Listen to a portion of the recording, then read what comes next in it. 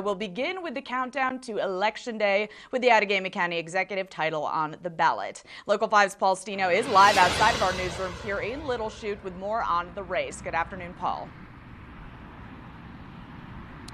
Hi, Caitlin. Yeah, well, Tom Nelson is running for his fourth term as Outagamie County Executive. His opponent, Kevin Stern, is no stranger to Outagamie County as well. He was a Outagamie County supervisor and was also the chairperson of the Finance Committee. We were able to catch up with Stern this afternoon as he was doing some door knocking in Kaukauna ahead of the election. He told us that uh, door knocking is one of his favorite parts of the campaign so far because he gets to talk to people. He said one of his major objectives throughout the whole process has been running a positive campaign.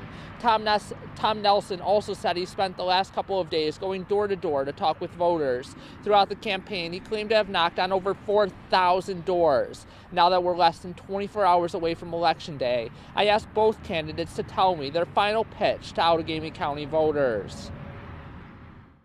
I believe really it comes down to business experience and the fact that I want to keep the politics out of it.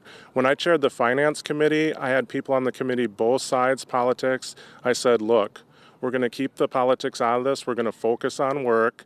When we do disagree with each other, we're going to do it respectfully. My record speaks for itself.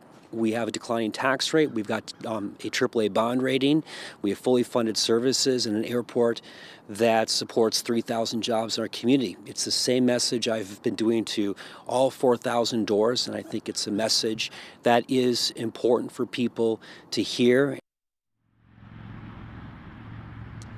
Both candidates told me that they're going to spend election night at their homes with their families. They tell me that they're both excited for tomorrow, that they're confident, but that, but that they're taking nothing for granted. For now, though, live from the Valley Newsroom, Paul Stino, Local 5 News. All right, Paul, thank you very much. And we'll have more information on our website at wearegreenbay.com. Another top race for voters here in the Fox Valley we'll see on the ballot is the state Supreme Court race. Running for the High Court is Justice Daniel Kelly, who was appointed to that position from 2016 to 2020. His opponent is Judge Janet Protasiewicz, who has been serving as a judge since 2014. And here are some quick reminders for Election Day. Voters can find their polling place online at myvote.wi.gov. Polls open tomorrow from 7 in the morning until 8 p.m., and you will need to be in line by 8 p.m. to vote.